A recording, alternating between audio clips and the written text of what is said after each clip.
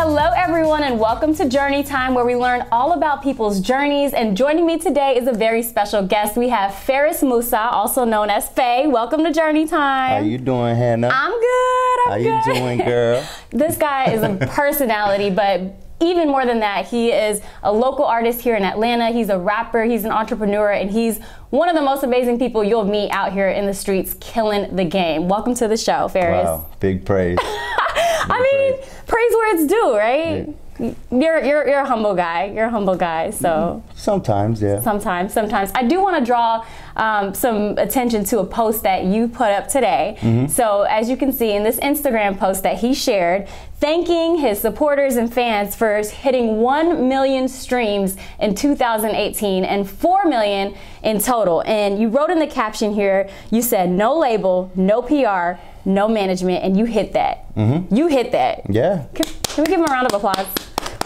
So, without those factors involved, can you tell me what were some of the factors that helped you reach that level of success? First and foremost, uh, my best friend Kelechi, you know, like we hold each, each other accountable with this music stuff. So like we work really hard in, in, in this room. Actually, we moved the studio, and um, you know everything that you, everybody hears on retailers is made in this room right here. So like from engineering and mixing and and putting the song out, everything starts right here, and it's just consistency. Just putting the music out. People gravitate to sort to, to certain records. The the ba- the the only like downside about putting out music is you don't know what people are going to gravitate towards. So you think you might think you have a hit and you're like everybody's going to love this and you spent like 8 hours on it and then um, to like a song that you spent like 30 minutes on. They so love you don't get to choose what people like. But um, I think as far as you know, gaining that fan base and those streams is just consistency, uh, work ethic. If you care and the people genuinely see that you care about your product, they'll start to slowly give in. And uh, you got to give them something that's worth listening to, worth buying, worth uh, um, associating themselves with. And they, you, you, want them to feel like they belong because they do. I mean, um, but that's honestly all it is. There's no like hack or anything. Like like there's no PR. Like I said, I don't even have a manager. Like um, you know, Kelechi and his brother. Like we consult each other, but there's no nobody making executive decisions on my behalf. That's deep. That's really deep. I mean, you're doing this on your own. I met you several years ago at a Mm-hmm. concert here in Atlanta. You know, even then you were grinding, grinding, and you were m- working multiple gigs. And we talked about how on social media you see this, you know, highlight reel, if you will. Mm-hmm. Can you talk about some of the challenges that you've been through and, you know, that you overcome over the years to get to where you are? Um, I mean, as you know, when when you're when you have a, a hobby or something that you want to do, we're at the age where we need to financially support ourselves. So, um, you know, doing the music thing, I was working, I was helping, you know, I was helping my um, my dad out his, at his restaurant. I was managing his restaurants, and uh, music actually came to a complete stop. It came to a halt because I was trying to like manage these restaurants, and I kind of lost track of what I loved and my passion. I kind of spiraled, you know, kind of downhill, like because I didn't really see a purpose, and you know, the restaurant thing is my dad's dream. It's not mine, and I was just trying to help because they had like a management issue at the time, and um, you know, I called Kelechi up. And this is when Kelechi he he won like the Mountain Dew the Mou- Mountain Dew sponsorship and stuff like that. So he was moving, and both of our lives were moving at like very different paces. I was working a conventional job, and he was, you know, touring America basically. And I called him up one day and I was just like, yo, like this job isn't making me happy. Like, let's get back in the studio, kind of as, as a therapy. Like it was just like, let's get back in the studio. Let's let's make music. And Kelechi was down from day one. And then um, ever since then, like I got back into the music thing. Um, and of course, you know, I had some money saved up from, you know, the restaurant.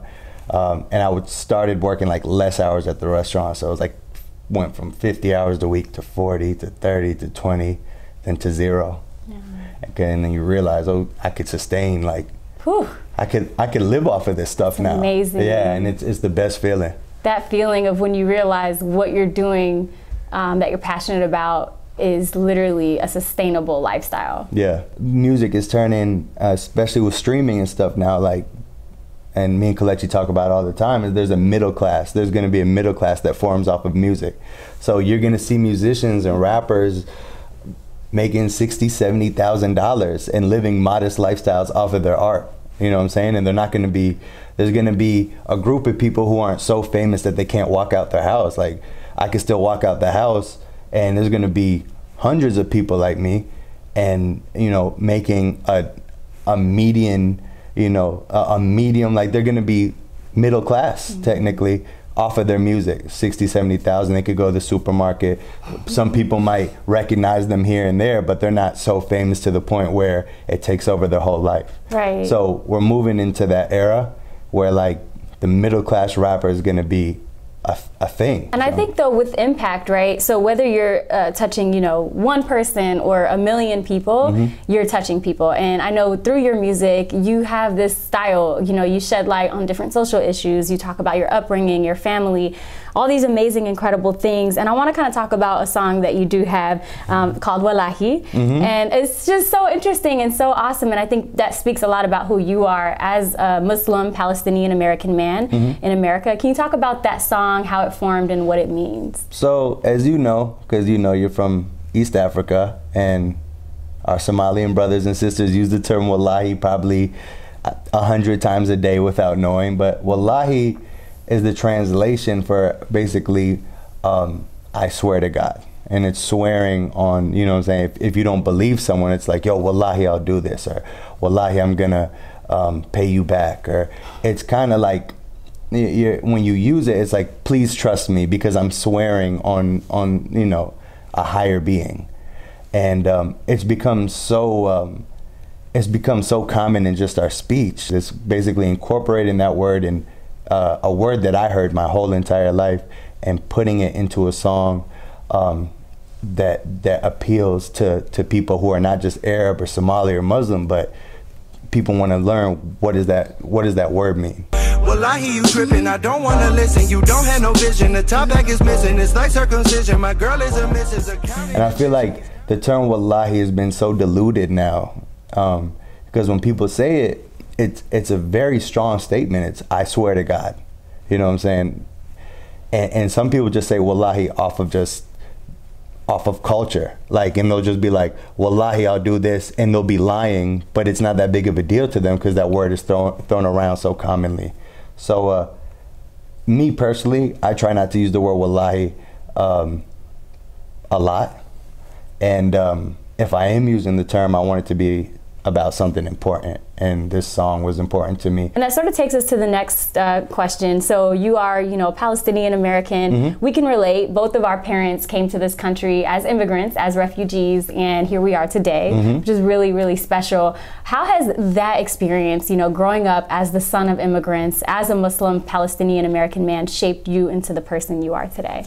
Um, it just it just taught me how to maneuver through certain areas, just how to maneuver through in America period. Um, I'd like to think I'm as American as anybody else because I was born here and I never lived anywhere else. But that's not the case when you um, you travel and you stop at a rural gas station in in rural Virginia or something. And people looking at you like, "What is this guy?" or "Who is this guy?" or the only images they see of a Palestinian is on CNN and they're blowing some stuff up. You know what I'm saying? And um, you know it didn't really hit me till after September 11th. But um, as as American as me and you are, um, the sad reality is we're not going to be accepted everywhere in America, and that's something you you need to learn how to maneuver in certain areas.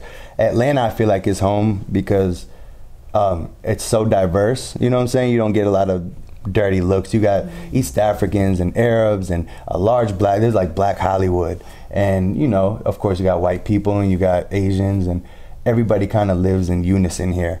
But that's not the case. Anytime you drive 15, 50 miles outside of a, a huge city, you have to, unfortunately, tread lightly. And can you talk about how you sort of use your music as a tool to shed light on some of the points that you mentioned? I'm not trying to push an agenda or anything.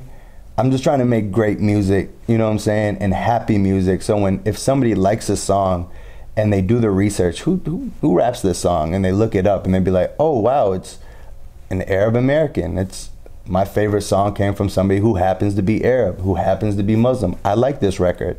I hope that that could shape or change, you know what I'm saying, the narrative. Mm-hmm. It's like, um, I got this comment one time on YouTube. It was actually, this is, um, this is actually crazy. So like, okay. Got this uh, comment on YouTube and it was about this song called Peace.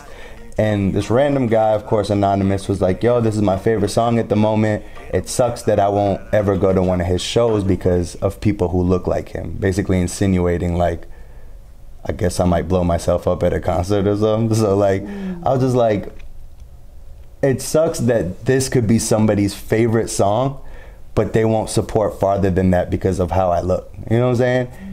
So my main goal is to, okay, cool, like you like this song, I want you to I want you to know that there are people like me from my background who are involved in the arts and who who make really cool stuff that you could relate to. It's sad that you you know people have to feel that way and and like you mentioned September 11th earlier and how that sort of changed some of the things but shout out to you for really like still pushing and promoting positivity as you know this is what this channel is about and you are still doing that yeah. even through some of the negative comments and negative um, energy that is out there in the world which I, I want to bring up your hat uh, mm-hmm. uh, can you talk about what that means I know it's a tribute to your mother yeah so hat is basically an ode to my mother. It's basically like, you know, you see like cartoons and it'd be like the masculine characters with the, you know, they pull up their sleeve and it's like mom with an arrow in it. Mm-hmm. So I made my own rendition. It looks like it says Lolo, but it's actually read from right to left in their Arabic letters and it actually translates to mama, act like M A M A. And you know, we're on our fourth, I think our fourth or fifth season of like merch, yeah. and it's been selling pretty well. So well, clearly he loves his mom. Yeah. Loves what she and his, his parents have done for you. And Absolutely. I mean, that's that's incredible. Yeah. That's incredible. I definitely am going to cop me a hat, so you're going to see wow. me rocking mine. Definitely. Hey, you're going to see me rocking yours hey, too. The joy. Hey, hearts. It's all about hearts, right? Yeah. Um, so I'm to put you on blast. You know, okay. since we're talking about family, I'm, mm-hmm. I'm going to put him on blast. So he actually, y'all, was a valedictorian. Oh man! valedictorian from Georgia State University of his class, and you know, then he obviously became this up and coming and then very successful rapper. So, what was the family's response? My mom was kind of like heartbroken, kind of. Even even when I graduated college, like I remember getting off the stage at the Georgia Dome. This is when it was still up and she was like, I was getting everybody hugs. She gave me a hug. It was like a light hug. She was like, I'm still not impressed. You gotta go get your master's. And I was like, yo, like, yeah, it was terrible. Like, how could you say that to me? But I mean, you know, we come from tough skin, and mm-hmm. they're always good. No matter how good, I, I could be a platinum selling artist right now. My mom was still probably like, you know, what I'm saying, like, beat me up for like something small. She has high standards for you. Exactly. Mm-hmm. So, um, you know, leaving the restaurant was. Um, a decision that just kind of naturally happened. You know, like I told you, it was just 20 hours to 10 to 5, and it kind of slowly just drifted away. I still help with payroll and stuff like that. But my mom was just like, you know, she'll see me and she'll be like, what do you do? You know what I'm saying? Like, you just sit there, like, what do you do? And I'm just like, um, I make music. She was like, so like, how do you get money? And I'm just like, yo, like streaming. and it's so hard to teach like your your mom who yeah. comes from like literally a refugee village and teaching her that your son is doing music and and that there's this thing called streaming that you could play your song and you get the royalties from that. And I'm not saying it's lucrative to the point where I could go buy cash out on two or three cars, but mm-hmm. I could support myself mm-hmm. And and you know buy groceries and and rent and you know sometimes even extra stuff like shoes and stuff like that just when you want to spoil yourself. This is intellectual property so when you're coming up with an idea and a concept you're creating it's not manual labor. Mm-hmm. so they're like i mean you're not working eight, 14 hours a day. You're not getting up at 4 o'clock in the morning and, and sitting in traffic and going to work. But she doesn't see the hours that we're sitting here trying to get a mix right or trying to write a record or, or going back and forth between between producers and trying to get the right sound and it really occupies it's like being possessed for like three days. Like if you have a song idea and it's not sounding how you want it to it's the only thing on your mind. Somebody could talk to you and you could hear words, but you just like you're just out of it until you get that idea across, and that, until it sounds clear and it sounds how you want it to in your mind. You have a you have a lot of vision. Yeah, like you have to have vision. So it's it's hard explaining to my mom. This is how I get paid. This is streaming. This is my distribution deal. Um, a million people listened to your son last uh, last year. You know what I'm saying? But it, she it doesn't yeah. It, doesn't translate for some reason. But even though it doesn't, right? Like I'm sure that there are ways in which she supports you beyond anything you know we can imagine, oh, yeah. and the love that she's given you, and you know your family. I'm sure that plays a tremendous role in who you are today. Absolutely, family so, is, is, big, really big. Yeah, yeah, yeah. And so, if your mom, you know, happens to be watching, what would you say to her? I love you, mom. You be safe. She just got uh, landed in uh, the Middle East mm-hmm. today, so you be safe, and I'll see you next month, God willing. Amen. Amen yeah. to that. So maybe some young, aspiring rappers out there, artists, like any words that you may be able to share on just reaching their goals and you know pushing through. Yeah. Um, it's honestly just having a vision and sticking with that vision. Um, I feel like with time and with time and and the amount of passion you have for something and your resolve like when things get tough, a lot of people quit and stuff like that. I know a lot of people have been doing this music thing and they just stopped. You know what I'm saying? Kelechi's like the only one still going. When I look to my right, you know, in college, it's like you look to your right, look to your left. One, one of you guys is gonna graduate. Mm-hmm. It's kind of like that in the music industry. It's like, you know, you could have a bad month or, or two bad months in a row and be like, everybody hates me. And, and, and artists are really like emotional you know what I'm saying? They'd be like, why, why aren't they listening to me? And they, they always make it about them. But it's just like you have two bad months and be out the game and be like, well, I quit. I'm going to go do something practical. So I feel like it's those who stick with it. Uh, like we always say, it's a marathon. Just keep running, keep running. As, as, as long as you're progressing and getting better. I mean, some stuff isn't for some people. I'm not going to sit here and be like, you could be a tear, you know, have no, no, uh, no melody or no sense of melody and stuff like that, and you're like trying for 10 years and you're just not getting better, you should probably stop. But if like, just you gotta have some talent, right? You, yeah, you have, and not even just talent. I don't think I was born with the like the talent to make music. I just feel like I learned it. Like you know what I'm saying? If if you want to get better, genuinely want to get better, you'll.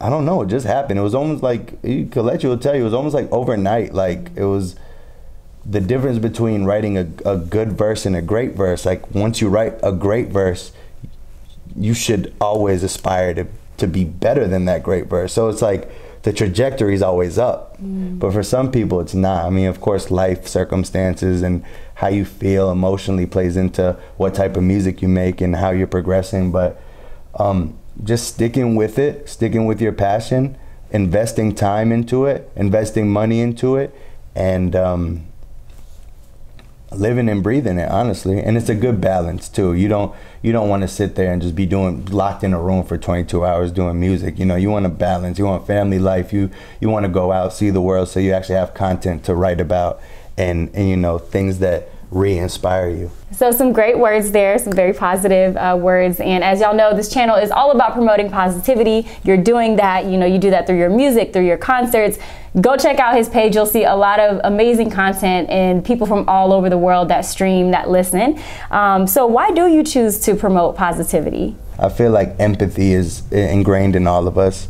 You know what I'm saying? Regardless of your circumstances, I feel like, you know, um, most people have regard for other humans and, and you know human life and it just it's something that feels natural it doesn't feel contrived like it's what makes us as humans special we we want to help people out and promoting positivity isn't a burden you know what i'm saying it's just something that that, that you should be doing you know what i'm saying i mean we're all breathing and living and waking up every every morning. Every morning, every day is not going to be a good day. I have bad days too. I'm sure you do too. Absolutely. And your outlook isn't as positive, but it's just like I'm just tired. Goodness, like the the world takes its toll on you. Mm-hmm. But uh, you wake up the next day to live another day, I guess. So absolutely, yeah. that's so real. That's so yeah. real. Thank you for that. And for anybody that is tuning in, if they want to keep in touch, follow along, which y'all should check him out. He's killing the game. His music is really amazing and powerful. How can you. they keep in touch? Uh, at Phayweather. That's P H A Y